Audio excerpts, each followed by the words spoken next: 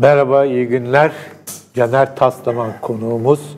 Kendisi Yıldız Üniversitesi'nde öğretim üyesi, profesör, felsefe, ilahiyat hepsi var. Caner hoş geldin. Hoş bulduk, nasılsın? İyidir. Ee, biz seninle çok eskiden tanışıyoruz Tabii. değil mi? Benim ilk gazetecilik yıllarım, senin de ilk evet. e, bu işlere yöneldiğin zamanlar o zaman daha lisedeydin herhalde. Valla lise yıllarından beri bu işler içindeyiz evet. elhamdülillah. Ee, başlığı deizm, ateizm, diye koyduk. İslam, deizm, ateizm ve gençler üzerinden koyduk. Son dönemde bir çok büyük bir tartışma var biliyorsun.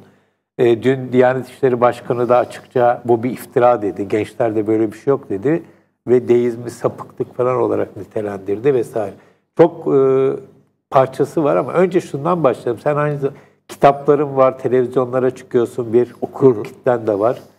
Öğrencilerin de var. Evet. E, kendi deneyimlerinden hareketle bu gençlerde özellikle de dindar ailelerden gelen gençlerde dine mesafe koyma, deist ya da ateist ya da agnostik böyle bir eğilimi sen şahsen gözlüyor musun? Bu abartılıyor mu? Ee, bence abartılmıyor. Böyle bir eğilim var. Yani ben liselerde de konferansta veriyorum. Üniversitede birçok e, yani öğrencim de oluyor. Bunun dışında işte internette, Facebook, Instagram, Twitter'da da aktifim. Oradan da gelenler var. Burada gördüğüm kadarıyla gerçekten bir deizm, ateizm, agnostizm me yönelen bir kısım gençler var. Burada istatistiksel, sayısal bir şey söylemek çok sıkıntılı. Yani ben okullara gittiğimde şöyle bir şey var. Tabii benim de içinde olduğum bir ikilem var onu söyleyeyim. Okullara gittiğimde, okulların içine girdiğimde e, ciddi bir yüksek yüzde görüyorum. Fakat anketlere baktığımda, anketlerde gözüken yüzde okullarda karşılaştığımın altında. Şimdi burada tabii ki şöyle bir şey düşünün. Ben her zaman için böyle bir durum olduğunda anketleri kendi e, e, Gözlem. gözlemimin üstünde tutarım. Çünkü ne kadar olsa ben çok sınırlı bir kümeyi gözle, gözlemleyebiliyorum. İstanbul'da gözlemleyebiliyorum. Hani tamam diğer şehirlere de gidiyorum ama yani benim gözlemleyebildiğim küme küçüktür diye düşünürüm. E bir de ben şu anda tamamen felsefedeki bilim din ilişkisiyle ilgili konulara yöneldim. Yani bir anket yapıp da piyasaya ben hataları düzeltebilecek şekilde çıkamayacağıma göre mevcut anketleri e, ciddiye alıyor. Çünkü elimizde daha iyi bir veri yok. Mevcut anketleri aldığımızda gözüken oran e, benim karşılaştığımdan da düşük. Onu da tabii söylemem lazım. Ha, buradaki sorun nedir? Anket yapılanlara millet kendini iyi mi ifade etmiyor? Bence böyle bir sorun olabilir. Yani birçok kimse ankette Müslümanım ifadesini dini inanç kadar kültürel aidiyet olarak da kullanıyor. Ama bunlar ciddi anlamda farklı. Mesela hatırlıyorsunuz yani Fransa'da bir ara e, bir olaylar oldu. Fransa işte etrafı taşlayanlar oradaki gençlere röportaj yaptıklarında sordular sizin dininizle ne inanıyorsunuz işte yani falan gibi sorular. Onlar biz Müslümanız dediler. E peki sizin dininiz bunu emrediyor falan gibi sorular soruyor. Biz ateistiz dediler aynı zamanda. E bir baktık kendini hem ateist hem Müslüman aynı anda ifade edebilen insanlar vardı. Bu Türkiye'de az da olsa bizde de buna benzer şeyler var. Mesela anketlerde gördüğüm şeylerden biri mesela Pew anketleri var. Benim gördüğüm dünyadaki en ciddi kuruluşlardan biri Pew. Şimdi Pew'un yaptığı verilerde mesela şuna benzer şeyler çıkıyor. Hani insanların cevabındaki çelişkiyi göstereyim diye diyoruz. Türkiye'deki insanlara sorduğunuzda bu 2012'de yayınlanan anket. Şimdi %97'si kendini Müslüman olarak tanımlıyor. %97 çok yüksek bir oran. Fakat cennete inancı sorduklarında %92'ye düşüyor. Cehennem inancı sorduklarında %87'ye düşüyor. Şimdi tabii e, İslami konuları birazcık bilen bir kimse bile şunu bilir. Yani İslam'ın Allah inancından sonra en temel inancı ahiret inancıdır. Yani bir kimsenin aslında ahiret inancına inanmadan Müslüman olduğunu ifade etmesi bir çelişkidir. Fakat baktığımızda 97 ile 87 hani cehennemle beraber saysak %10'luk bir kesim ahirette e, tam manasıyla Kur'an'da anlatıldığı gibi cennete inanmamasına rağmen kendini Müslüman olarak ifade ediyor. Şimdi mesela bu kesimi biz nerede sayacağız? Yani deizmin Bunu içinde... mesela bir... geçen bir Mak'ın yaptığı araştırmayı gördüm. Orada melekleri ayrı sormuşlar. Başka evet. şey birçok şeyi ayrı ayrı e, sormuşlar. Bir de tabii şey ibadet kısmı var. Evet. O, orada mesela e, şimdi e, Türkiye'de genellikle şöyle bir eğilim vardır. Hani insanlar kendini dine inanır gösterir ama ibadet konusunda baya bir makas açılır.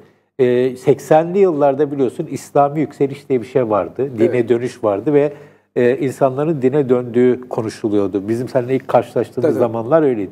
Şimdi yaklaşık bir kuşak geçti aradan. Yaklaşık bir 30 yıl geçti. Şimdi de sanki bir dinden yani dine dönüş şimdi de dinden dönüş. Bu e, dünkü dine dönüşü hep beraber yaşadık gördük de bugünkü dinden dönüş olayına sen biraz mesela anketlerin dışında kendi gözlemlerine Şöyle, bir sormak istiyorum. Mesela gençler sana ne soruyor en çok? Hı hı. Şöyle bir şey de söyleyeyim belki Tabii. o söylediğine ilgili. Şimdi bizim dine dönüş diye tarif ettiğimiz şey aslında dindarların pekala görünür olması olabilir. Yani daha evvel e, ki dönemlerde birçok dindar kırsal kesimde yaşıyorken ki biliyoruz biz 50'li yıllardan 2000'li yıllara kadar kesintisiz bir şehre göç var. Ve bu kırsal kesimde dini e, eğilimler daha yüksekti şehirli merkeze nazaran. Şimdi bunun tabii nedenleri var. Başka bir yere konu gider diye oraya gelmek istemiyorum.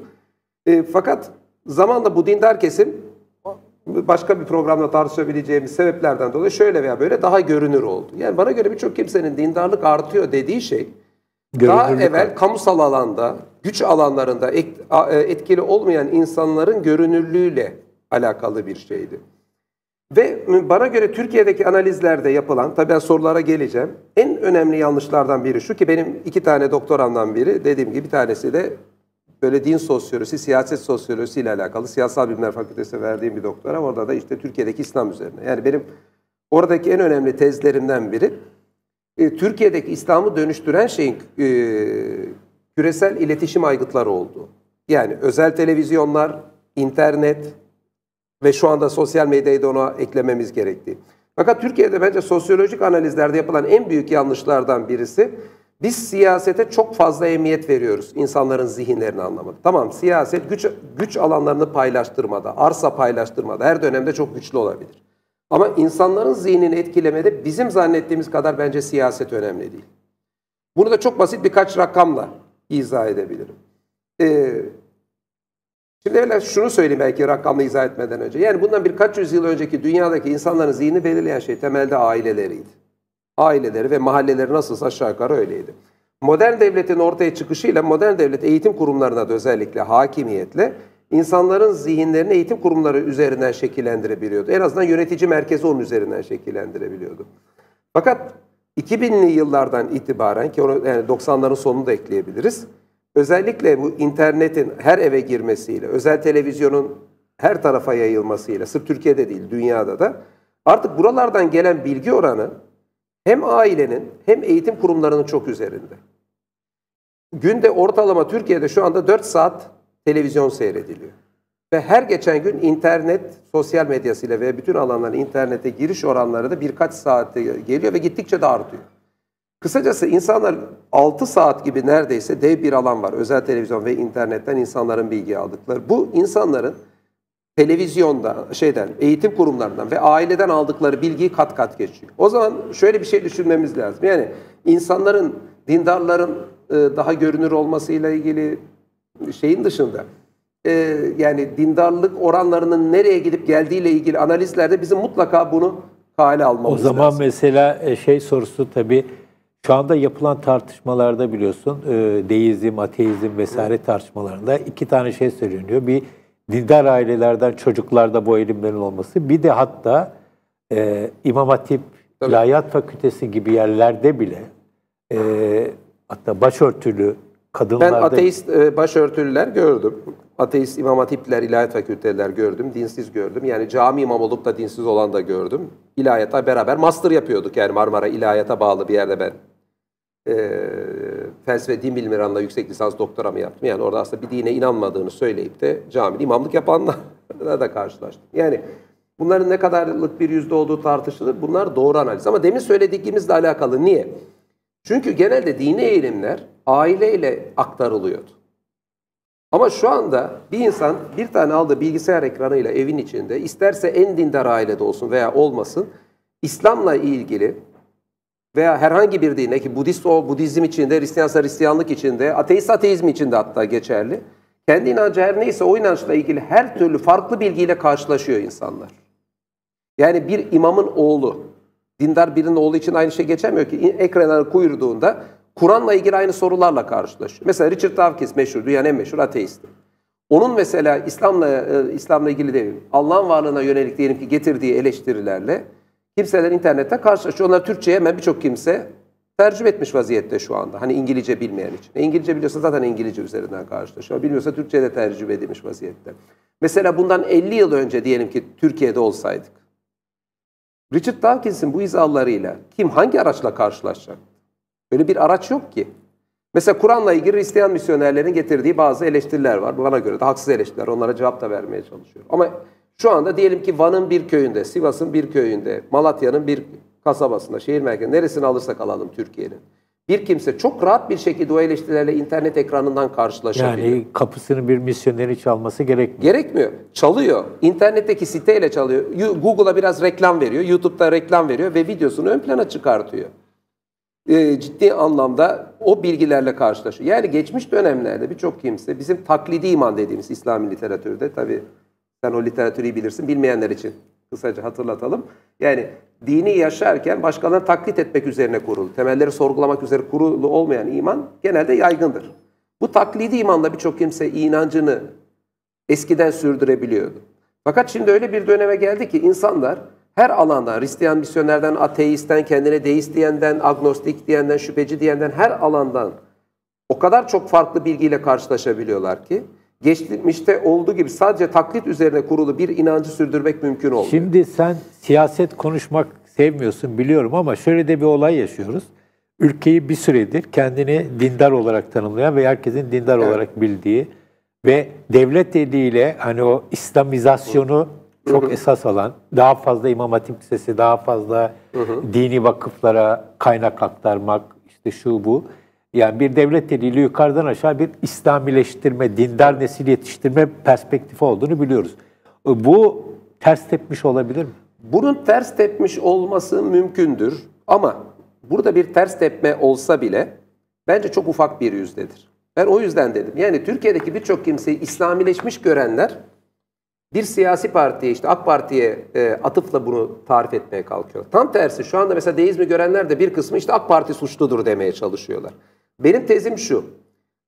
E, siyasetin tamam bir payı vardır illa. Çünkü siyasette çok önemli bir aktör. Yani birçok şeyi belirlemede. Fakat insanların zihnini şekillendirmede siyaset çok önemli değil.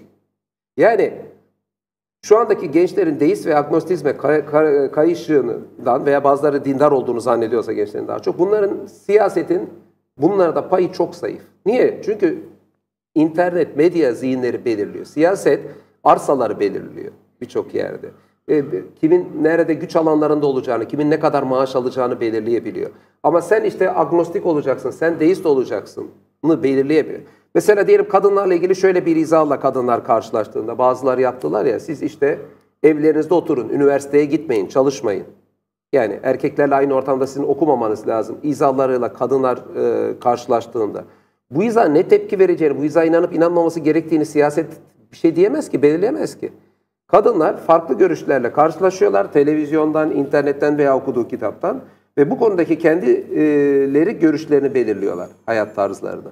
Ve siyaset onlara akan bilgilerden, internetten, televizyondan, kitaptan akan bilgilerin hangisini kontrol edebiliyor? Sadece Türkiye için bunu düşünmeyin. Aynı şey yani birçok Müslüman ülkede geçerli. Peki yani, bu verdiğin, deminki verdiğin örnek hani kadın konusunda birisi bir şey söylüyor diyorsun. Onların da dolaşım yeni yere e, internet ve sosyal medya. Evet. Ve e, onlar da genel yaklaşım şu, insanların dine dine soğumasında ya da mesafe koymasında bu tür e, tırnak içine alalım fetvaların çok yeri var, çok önemli. Ve onlar ama şeyden yürüyor. Yani bakıyoruz videosu var. Evet. Değil mi? Cep telefonunda herkes birbirine yolluyor ama şey olarak yolluyor. Hani evet. e, örnek almak için değil, eleştirmek için yolluyor. Bak senin hocam şu anda senin çok iyi bildiğin ama Türkiye'de birçok kimsenin iyi bilmediği bir şeyi vurgulayalım. Bu kimseler bundan e, senin ayet ve slogan diye e, bana göre çok güzel, benim doktora tezinde de alıntı yaptığım bir e, çalışmam var. Oradayken mutlaka karşılaşmışımdır. En azından sen de şunu söyleyebilirsin. Bu kişiler bu izahları 2010'lu yıllarda mı yaptılar, 80'lerde 70'lerde yapıyorlar mıydı? Evet. Cevap yapıyorlardı. Peki şimdi farklı olan ne? Sosyal medyayla bu izah herkese ulaşmaya başladı. İnternetle herkes ulaşmaya başladı. Yani aslında Türkiye'de yapılmayan bir izah yapılmaya başlanmadı. Cemaatler olmayan bir şey yani evvelden savunmadıkları bir şey savunmaya başlamadılar. Ne oldu sadece? Bir anda bilginin hızlı küreselleşmesi gibi ülke içinde birinin kendi camisinde verdiği bir fetvada bir anda ülkeleşiyor. Hani en azından Türkçe bütün dünyada konuşmadığı için küreselleşiyor demesek de en azından ülkeleşiyor. Ee, ufak bir noktada söylenen bilgi. Ve bu tabii ki deizm, agnostizm ee, ve e, şey için e, ateizm ki ben bu üçünü bir paket görüyorum. Deizmi bunlardan ayırmayı doğru bulmuyorum. Onu da hep söylüyorum. Tartışmalarda çok önemli. Bana göre bu tip şeylerin iki sebebi var. Deizm bir dış sebepler. Yani İslam'ın dışından, özündeki şeylerden kaynaklanmadan gelen eleştiriler var. Nedir? Birisi diyor ki Allah yoktur diyor. Veyahut da kötülük sorununu ileri sürüyor. Ha, biz felsefi açıdan onları tartışabiliriz. Ben nitekim kitaplarımda bunlara hep cevap vermeye çalıştım. Bunlar dış sebepler diyorum. İkincisi iç sebepler. İç sebeplerde ise İslam'ın nasıl tanıtıldığı bunlarda etkili oluyor. Yani Müslümanlara bakarak. Tabii. Evet Müslümanlara bakarak. Ve de aslında şöyle bir şey vardır. Halkın büyük bir kısmı e, gözüyle düşünür. Yani topluma bakar gözüyle düşünür. E, ve pek fazla kitap okuyup da kitaptan bilgi çıkarmaya çalışmaz. Gözüyle gördükleri üzerinden düşünür. Fakat şimdi de yeni bir şey eklendi. Sosyal medya ve televizyonda kullanla işittikleriyle bir e, zihinsel e, oluşuma gidiyor. Şimdi bu iç sebeplerde tabii ben Kur'an merkezli daha bir anlayışı savunuyorum. Burada bana göre bu yüzden Kur'an'da söylenenlerle söylenmeyenlerin ayrılması çok önemli. Niye? Çünkü içeriden gerçekten İslam'la alakası olmayan şeylerin İslam'dan zannedilmesi deizmi besliyor. Veyahut da işte agnostizm besliyor. Mesela örnek verin. Bir tanesi demin verdiğin örnekti. Yani mesela kadınların kamusal alana katılamayacağı şeklinde izahlar. Üniversitede okuyamayacağı şeklinde izahlar bu kaynaklara giderek yapılıyor. Peki bu kaynaklar yeni mi çıktı? Yok. Aslında bu izahları yapanlar bunu kendisi mi uyduruyor? Hayır. Bizim Kur'an dışındaki kaynaklarda, e, fıkıh kaynaklarında, hadis kaynaklarında bunlar var. Ha, ama bana göre uydurma onlar. Hadis kaynaklarının onların aksine bir şey var. Yani öyle bir hadis var ki kadınlara yazı yazmayı öğretmeyin diyen hadis de var. Peygamberin döneminde kadınların arasında ilme ne kadar önem verildiğini gösteren e, hadis de var. Kadınlar kamusal alana katılmasın diyen hadis de var. Peygamber döneminde kadınların ne kadar camide aktif olduklarını, e, müfettişlik yaptıklarını, erkekleri denetledikleri, kimi kadının berber, kimisinin çoban, kimisinin tüccar olduğunu anlatan hadisler de var. Ama sonuçta hadisler içinde belli bir malzeme de sokulmuş. Bana göre onlar uydurma. Yani çünkü Kur'an'la e, çelişikler. Kur'an'da kadınların kamusal katılımını engelleyen bir şey yok. Fakat bu bana göre böyle. Ve ben bunu yüksek bir sesle böyle olduğunu anlatmaya çalışıyorum. Niye? Çünkü o, onun İslam'dan olduğu zannedildiği anda birçok kimse İslam'dan ciddi bir kopuşta yaşıyor. Ee, ne bunlar? İşte sayabiliriz. Kadın, cehennemin çoğunu kadınların oluşturduğu şeklinde izahlar. İşte o kadınların okumaması gerektiğini söyleyen izahlar. Veyahut da aynı benzer izahlar sanatta var. Müzik dinlemenin, resim yapmanın haram olduğuna dair izahlar. Veyahut da özgürlüklerle ilgili böyle uydurulmuş, Kur'an'la çelişen izahlar var. Nedir? Mesela diyelim namaz kılmayanın öldürülmesi ve hapsedilmesi gerektiğini e, söyleyen izahlar. Bir insanın İslam dinindeyken dönerse, yani mesela deist veya agnostik olursa bir kimse, bir kimse bazı uydurma fetvalar göre onun öldürülmesi lazım.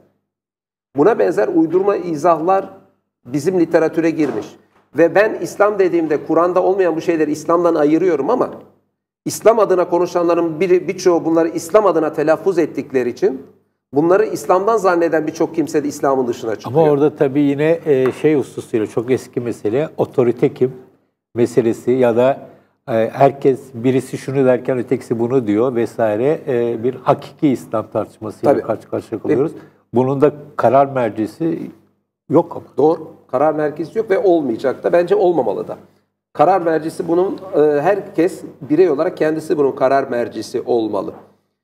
E, bu yüzden mesela e, hatta yani şunu da diyorum. E, farklı fikirler herkes dinleyecek sonunda karar verecek. Yani Kur'an'da bir ayet var. Onlar sözü dinlerler en güzeline uyarlar diyor. Yani insanlar farklı fikirleri dinleyecekler. İşte beni dinleyecek, Cübbeli Ahmet'i dinleyecek, Nurettin Yıldız'ı dinleyecek, işte Hasan Onat Hoca'yı dinleyecek. Kendileri farklı fikirleri dinleyip insanlar karar verecek. Ve hatta burada bence şunu da yapmamız lazım. Karşıt fikirlerin serbestçe söylenme özgürlüğünü de ne kadar beğenmezsek beğenmeyelim. Hani bir şiddete teşvik tipi bir şey olmadığı sürece. Onları da e, savunmamız lazım. Çünkü bunun aksi bir şey yani bir gün merkezi bir güç onları susturur. Yarın da beni susturur. Yarın öbürsünü susturur da. Peki bir burada içinde taşır. bu tartışmanın tartışma özgürlüğünün içine deizmi, agnostizmi savunanları da koyuyor mu? Tabii ki. Tabii. Hayır, bence bir Müslüman toplumda bir ateist çok rahat ateist olduğunu, deist, deist de şu demek onu diyelim. Allah'a inanıp da dine inanmayan. Yani dinsiz dediğimiz kategori daha evvel. Ee, olan, şüpheler olan bunların her biri kendi rahat ifade. Bu benim ve verildiğim bir özgürlük. Benim Caner Taslaman olarak işte ben Boğaziçi'nde okudum. Sonra doktora yaptım, ikinci doktora yaptım. Benim zihnim öyle bir şey şekillendi ki işte yurt dışına gittim, geldim.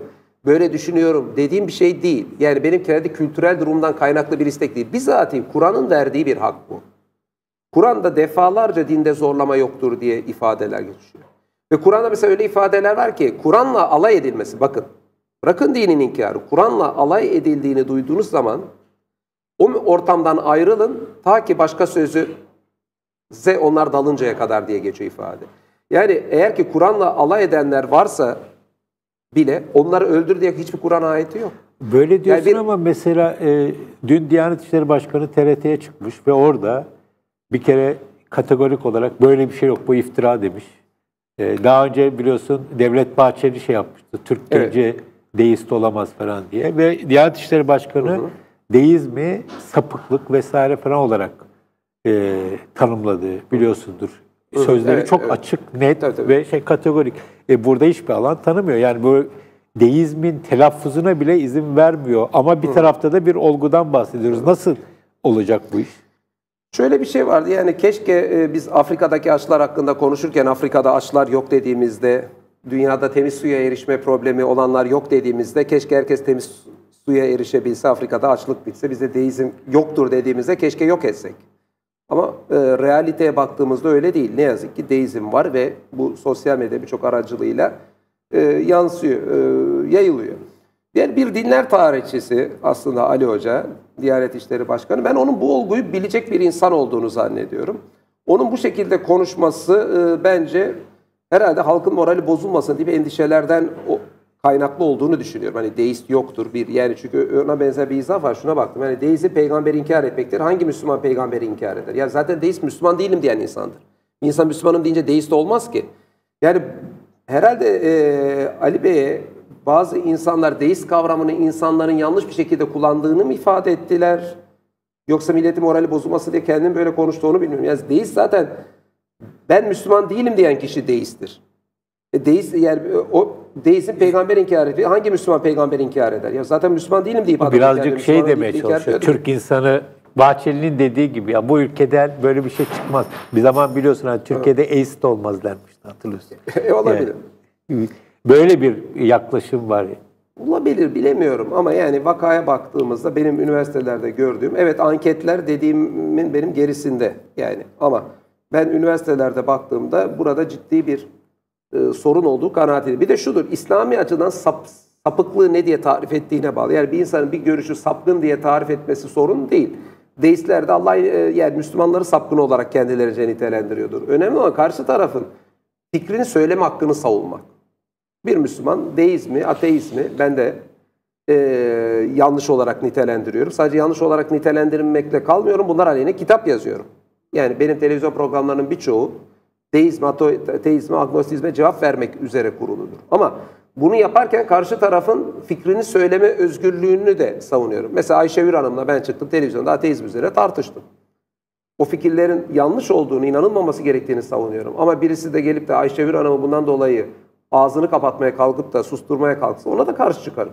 O da onun hakkı, onu söyleyecek. Peki şöyle bir şey sorabilir miyim? Bu tarih boyunca bu akımlar hep var. Yani bu evet. yaklaşımlar, düşünceler hep var. Günümüz Türkiye'sindeki bu e, özellikle gençlerde senin gördüğün kadarıyla bu e, sorgulamalar, deizme ya da o senin pakete yönelmelerde yeni olan ne var? Ne görüyorsun? Yeni olan hocam araçlar. Hiçbir soru yeni Sorular değil. aynı mı? Sorular aynı sorular. Ama e, araçla çok hızlı yayılıyor. Mesela diyelim evrimle ilgili bazı tartışmalar. Ya bu konuda da biliyorsun ya bir Müslüman evrimci olabilir mi diye bir kitap yazdım. İslam açısından evrimin sorun olmadığını ısrarla anlatmaya e, çalışıyorum. Yani doktora tezim bu konuda. Yurt dışında yaptığım çalışmaların bir kısmı bu konuda ama mesela diyelim evrimle ilgili birçok şey eskiden bilgiler de hızla yayılmıyordu. Şimdi bir kısım insanlar evrime inanan ateist olmak zorundadır gibi bir şeyler diyorlar. Bunu da öyle bir grup, iki grup, üç grup değil. Türkiye'de çok grup var böyle yani. Yani evrime inanan ateist olmak zorundadır gibi tavır içinde olan gruplar var.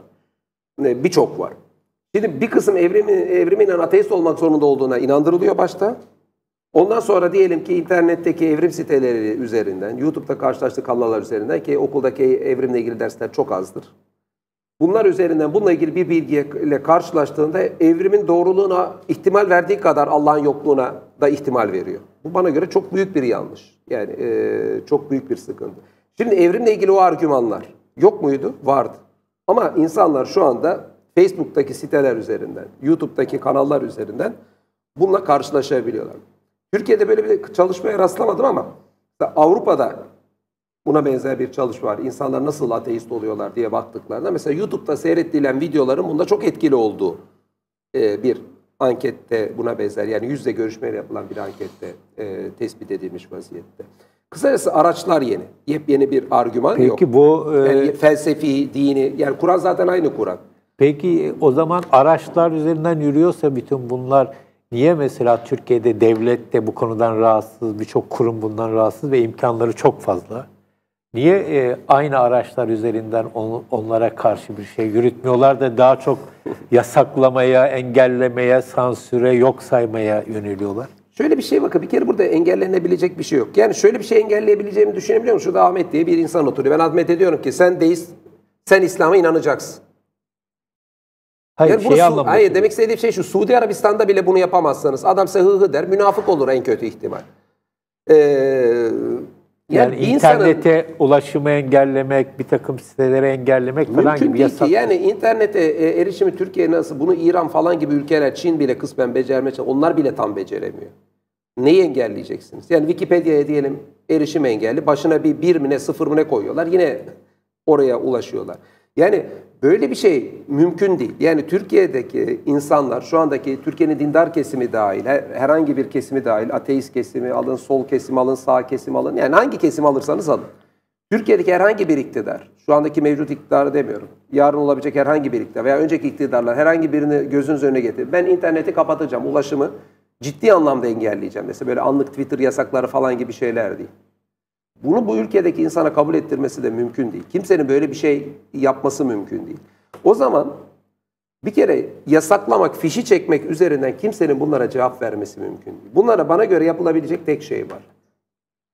Er meydanına çıkacaksınız, sofistike tarzda argümanlarınızı koyacaksınız. O da işte siyasetin yapabileceği bir iş değil. Bu ülkenin Müslüman entelektüelleri varsa onların yapacağı. İşte bilemiyorum varsa. yani e, İslam yani Müslüman entelektüel diyorum. Müslüman entelektüelden kastım benim şu. Karşıt fikirleri çok iyi bilen. Yani ateizmin argümanlarını varsa çok iyi bilen.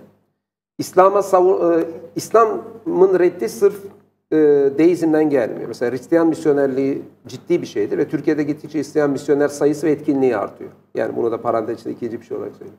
Artı deizm yani Allah vardır, din yoktur diyenler. Veyahut da New Age bazı dinler var. Mesela bunların her biri bir İslam inkarıdır. Bunların özünü iyi bileceksin ki onlara cevap veresin. Ama bu da senin bir e, iyi bir kelamcı olman, iyi bir felsefeci olmanla alakalı bir şey. Yani ilahiyatın içeriğini de gerekirse iyi bilme veya karşı tarafın argümanını iyi bilmenle ilgili bir şey. Şimdi yani burada bir böyle bir donanım olmadan bence bunlara fiş çekmeyle cevap vermek Şöyle bir şey yani. söylemek istiyorum. Şimdi aslında yakın bir zamana kadar çok konuyla ilgili insanlar dışında insanların pek bildiği bir kavram değildi deizm. Yani ateizm biliniyordu. Ee, yani sadece belli bir entelektüel şeyde olan insanların bildiği Hocam, Deizm şey. vardı da adına biz işte, dinsizlik yani. diyorduk. Şimdi Ka- ismi deizm oldu. Millet de daha havalı felsefizmde evet. kendine deist demeye başladı. Peki burada ama şöyle bir şey var. Sen demin bahsettin şimdi. Misyonerlik tamam bir takım e, diğer dinlerin misyonerleri olabilir evet. ama mesela ateistlerin de bir takım örgütlülükleri olduğu söyleniyor. Dernek vesaire evet. falan.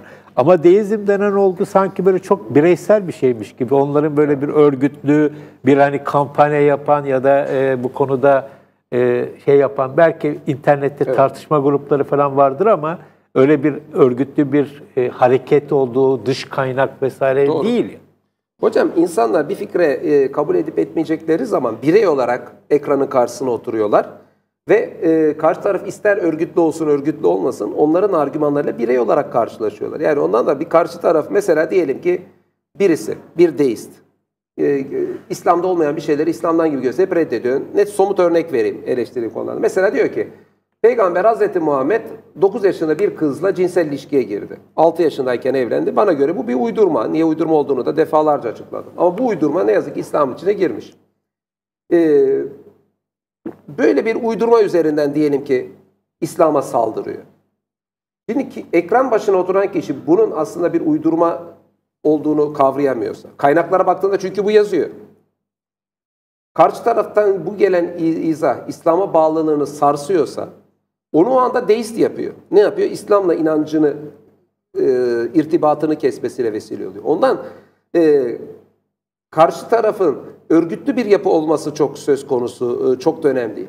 Bir de diğer taraftan ondan ben bunları hep paket olarak görüyorum. Yani ateizm, deizm, agnostizm. Onu da seyircimize söyleyeyim. A, olumsuzluk takılır. Teizm Allah'a inanç demek. A, Allah'a inancın olmaması demek. Gnostizm bilmek demek. A yine olumsuzluk takısı. Agnostizm bilememe durumu demek. Yani Allah'la ilgili konuşulunca Allah var mı yok mu bilemiyorum denir. Onlar da otomatikman yani dinsiz kategorisinde oluyorlar agnostiklerde. E, deist ise Allah'ın varlığına itiraz etmeden daha doğrusu Allah'ın varlığına inancıyla beyan ederek dinlere inanmama durumu dedik. Ama bu üçü de bir paket. Niye bir paket? Mesela bir ateist e, sadece Allah'ın varlığına itirazla yetinmiyor. İslam'a da eleştiriler getiriyor. Öyle kurulan ateist siteler var. Mesela demin dediğimiz itiraz, peygamberin işte 9 yaşında bir kızla gerdeğe girdiği şeklindeki bir iftirayı dillendiren ve bunu gündeme getirip de eleştiri yapanlar birçok zaman ateist siteler oluyor. Ama ateist sitenin Allah'ın varlığına karşıt izanı kabul etmeyip de sırf bu izanı kabul eden bir kimse deist oluyor. Yani o yüzden e, illaki yani deist kişi yapan unsurların arkasında sırf bir deistin olması da şart değil. Bir ateist de pekala bunun arkasında olabilir. Veyahut da diyelim bir Hristiyan misyonerliği var. İslam'a saldırıyor. İslam'a saldırırken diyelim ki e, nereden saldırıyor? Müslümanlar yakaladıklarını kesiyorlar, biçiyorlar şeklinde bir şey uyduruyor. Oysa bana göre yine Kur'an'daki anlatılan cihat kavramı ancak karşı taraf savaş açıyorsa olabilen bir e, savaştır bir namaz herkesin namaz kılmama, bu dünyada oruç tutmama, dini ibadetleri yerine getirmeme özgürlüğü vardır. Ahirette hesabı Allah'a verecektir. Kur'an dünyevi hiçbir ceza öngörmemiştir. Bir mesela Hristiyan misyonerler İslam'ı bir vahşet dini olarak tanıtmaya çalışıyor. Çünkü zaten Allah'a inançta ortak, ahiret inançta ortak. Oradan saldırmayacak. Nereden Ama saldıracak? bu arada tabii e, bir IŞİD gibi, El-Kaide gibi çok somut da yaşananlar var. Tabii zaten gerçek İslam odur diyor onları Boko Haram gibi gösteriyor. Zaten Boko Haram nedir? Eğitimin yasak olduğu üzerine temellenmiş bir kurum. Bunlar İslam'dır diye saldırıyor. Şimdi Hristiyan misyonerliği fakat diyelim ki takip eden birisi o eleştirilerini. Aa Hristiyan misyoner bu eleştiriyi getirdi. Ben o zaman Hristiyan olayım demiyor ki. O eleştirisini kabul ediyor. Yani Hristiyan da olmuyor. İslam'a inancını bırakıyor. İşte deist oluyor. Yani deist olum, insanları deist yapan unsurların arkasındaki izalarda bir ateist, bir Hristiyan misyoner, bir New Age dinci, de pekala olabilir. İlla deist olması şart. Peki şeyi sorabilir miyim? Sen kendi kişisel tanıklıklarına e, istinaden sormak istiyorum. Karşılaştığın gençler vesaireler e, hani bu konuda hı hı. şüpheci, deist, ateist ya da agnostik olanlar senle konuşurken senle bir münazara olarak mı konuşuyorlar ya da seni gibi insanlarla yoksa ikna edilme gibi bir beklentileri var mı? İkisi de var hocam. Psikolojisine bazıları e, İslam inancı varken e, bununla ilgili ciddi şüpheler e, duymaktan dolayı bir huzursuzluk duruyorlar. Bunlar o demin dediğin gibi oluyorlar. Yani ne yani hani ikna edilmeyi de bekliyorlar. Yani ne bileyim işte peygamberimiz 9 yaşında bir kızla demin dediğimiz mesela diyelim izah duymuş oluyor. Nasıl böyle bir şey olur falan geliyor. Bu tabii ki ikna edilmeyi bekleyen bir tarz. Ama bir kısım yani e, radikal ateist olan yani ateisti yaymaya çalışan, eden, yani kızan, bana küfreden e, karşıtlar göre nasıl ki hani bizim e, dindarlar olup da herkese küfredenler olduğu gibi öyle ateist olup da küfredenler var. Herkesin de var. E, bu işi radikal olarak dinsizliği veya e, ateizmi benimseyip bunu propagandasını yapan, yaymaya çalışan, eden ve karşı tarafa karşı çok agresif olanlar da var. Zaten New Age ateizmi New Age ateizmi değil de ona New ateizm diyelim. Daha çok literatürde New ateizm olarak anılır. Yeni ateizm olarak ayrılır. İşte bunun dört tane de ünlü temsilcisi vardır. Hani Richard Dawkins, Christopher Hitchens, e, Sam Harris, e, Daniel Dennett. Ateizmin dört altısı diye geçer. Biri öldü, diğer üç tanesi yaşıyor. Şimdi bunları mesela tarihin evvelki dönemlerindeki birçok ateistten ayıran en önemli unsurlardan biri agresif olması olarak nitelendiriyor. Ve bunlar da çok geniş bir kitleyi e, etkilediler. Yani günümüz e, ateizminin e, önemli özelliklerinden biri agresif, alaycı ve saldırgan tutumudur. Evvelki şeylere göre. Aynı tutumları birçok dindarım diyende de rastlıyor olabiliriz. Ama yani günümüz ateizmini geçmiş ateizmlere göre tanımladıklarında özellikle bu özelliklerin ön plana çıktığını söylüyorlar. Türkiye'deki birçok ateiste de e, bunun yansımalarını görüyorum ben. Peki e, bu eğilim e, gençlerde olduğu söylenen eğilim Türkiye'ye özgü bir şey mi yoksa diğer İslam ülkelerinde de duyuluyor mu böyle şey? Yok diğer İslam ülkelerinde de var. Mesela İran'da e, yani mesela çok yüksek ateist oranlara rastladığını orayı iyi bilen birçok kimse söylüyor. Ben e, İran'ı iyi bilip üzerine konuşabilecek biri değilim ama o analizlerine güvendiğim kişi, kişiler üzerinden söylüyorum. Yani çok yüksek oranda ateiste mesela rastladığını söylüyorlar. Çünkü e, bu e, küresel aygıtlarla oluşan demin anlattığım tablo Türkiye'ye has bir tablo değil. İnsanların farklı fikirlerle karşılaştırmaları ve taklidi bir imanla işi götürebilecek durumun artık bittiğini. Bu tamamen e, benzer bir süreç bütün İslam ülkelerinde yayılıyor. Yani Malezya'daki Müslüman da aynısını yaşıyor, Endonezya'daki de yaşıyor, Fas'taki de yaşıyor, Tunus'taki de yaşıyor, Mısır'daki de yaşıyor, İran'daki de yaşıyor. Irak'taki yaşıyor, Suriye. Bütün bunların hepsinde tamamen buna benzer süreçler yaşıyor. Ve bütün bunların hepsinde siyaset zihinleri belirlemede olumlu veya olumsuz yönde etkisini kaybetmiş vaziyette. Ama bu dünyadaki sosyolojik gelişimle alakalı bir şey. Siyasilerin becerilerinden veya beceriksizliklerinden kaynaklanan bir şey değil. O yüzden bana göre buna karşıt yapılacak bir şey yok. Yani siyasiler ah bunu yapsın. Yani siyasilerin bir şey yapıp da bunu durduracağını sanmak dünyadaki sosyolojik yapıyı okuyamamaktır bence sadece. Ben bana göre yapılabilecek tek şey var bundan bir rahatsızlık duyan varsa. Argümanlarını kuşanacaksın, er meydanda piyasaya çıkacaksın. Karşı tarafa kendi fikrini anlatacaksın. Eğer ki karşı tarafa kendi fikrini iyi anlatamazsan ateizm de artacak, deizm de artacak, agnostizm de artacak. İyi anlatırsan da Allah sana Son olarak şeyi sormak istiyorum. Bu birkaç defa e, dile getirdin New Age dinler diye. Değişik dönemlerde Türkiye'de de böyle uzak doğu dinleri ya da bir takım e, uzaylılara inanma vesaire gibi bu New Age denen yeni çağ e, şeyleri, grupları falan olduğunu biliyorum. E, değişik dönemlerde birileri yükseldi sonra kayboldu evet. vesaire. Şu anda durum nasıl o anlamda? Şimdi bununla ilgili tabii ki elimde bir istatistik yok ama Türkiye'de de böyle grupların varlığından haberdarım. Yani Türkiye'de şu anda kendisine falanca gezegenin alfa kanalından bilmem ne kitabı vahyedilmiş deyip de etrafına bayağı bir insan toplamış kimseler var. Hindistan'daki guruların peşinde gidenler var. Ve ondan diyorum aslında ben, ben paket programa bu dördüncüyü de eklemek lazım. Ee, yani neydi paket program dediğim tartışılması gerekir. Ateizm, deizm, agnostizm artı New Age dinler. Yani paket bu dörtlü bir paket. Hatta bana göre bir de Hristiyan misyonerliği de eklemek lazım. Gittikçe etkinliğini Türkiye'de arttırıyor. Hem sayı olarak hem e, ulaştıkları kimse e, açısından. E, bizim ilahiyatçılar hep bir şeyleri sonradan farkına varıyorlar. Bakın mesela New Age dinlerin sen bu konuda hocam yıllardır arazide olan biri olarak etkisini Türkiye'de biliyorsun değil mi? Ağzım sanmayacak diye. Bizim ilahiyatçıların bunlarla ilgili çalışmaları yok mu? Var. Ama olması gerekene göre çok düşük seviyede. Şimdi karşıda bir olgu var. Ne yapacaksın? Yani adam böyle bir şey inanıyor. E, bana göre de zorlama mümkün değil ve olmaması da lazım bir şey zorlama. E zorlamak mümkün değilse ne yapacaksın? Sen niye bu yapının, bu şeyinin yanlış olduğunu anlatmak dışında çaren yok? Bu da nedir? Aslında işte ilmi bir çalışmayı gerektirir. Bu ilmi çalışmayı Türkiye'de yapması umulan kimse kimdir? Yani ilahiyatlar. Bana göre her Müslümanın vazifesidir. yani bu tip şeylerle uğraşmak. İlahiyatçıların, diyanetin görevi diye bir şey yoktu. Ben bu görüşe karşıyım ama ama birileri bir yerden bir şey umuyorsa bunlara cevap versin diye umulması gerekli yer ilahiyattır. İlahiyatlarda kaç tane çalışma var? Gerçek anlamda bu New Age yapılanmalara cevap verebilecek nitelikli. Mesela basit bir tanesi örnek vereyim. Türkiye'de Osho'nun kitapları rekor satıyor. Osho tam bu bahsettiğimiz New Age yapılanmalardan bir tanesi. Türkiye'de sen hocam e, kitap okuyan, piyasayı çok iyi bilen birisin. Yani yıllardır bunu biliyorum. Osho'ya cevap mahiyetinde bizim ilahiyatçıların yazdığı ciddi iç esere rastladın mı? Onu Özgür Suriye ordusu falanla karıştırıyor olabilir. İstersen burada noktayı koyalım. Evet. evet. Caner Taslaman'la gençler e, İslam, deizm, ateizm dedik. Hatta agnostizmi de ekledik ve hatta en son New Age dinleri de ekledik. Hatta Hristiyan misyoneri de bence ekleyin hiç yaban atmayın. Evet. Hocam şimdi yalnız bir şey söyleyeyim mi? Tabii, bir iki söyle. dakikamız var mı?